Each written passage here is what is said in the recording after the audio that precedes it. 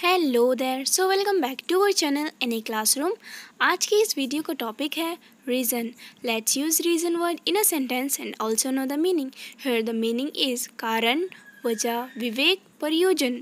Here the first sentence is that's the reason we have to fight यही कारण है कि हमें लड़ना है.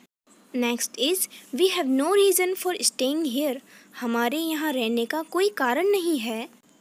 Next is I have my reason for wanting to go मेरे पास जाने की मेरी इच्छा का कारण है।